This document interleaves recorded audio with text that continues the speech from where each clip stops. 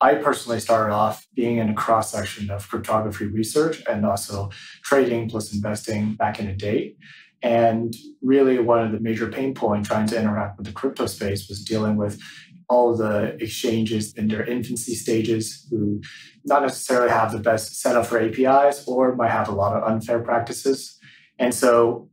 one of the ideas we had when we stumbled upon, you know, like a paper written by some of the professors uh, that I was working with was about, you know, removing front running and collision within a decentralized exchange space. And DEXs in general was definitely one of the most, well, at least personally speaking, one of my major interest areas. And so I thought that this could be something extremely innovative and kind of got into the drawing board after that because, you know, as a user, as a trader, I certainly have a lot of complaints, especially when it comes to, you know, back in the day, like whitelist IPs, you know, censorships and also, you know, unfair practices. And I was really excited to, you know, build something that's uh, decentralized, just like the digital asset space itself.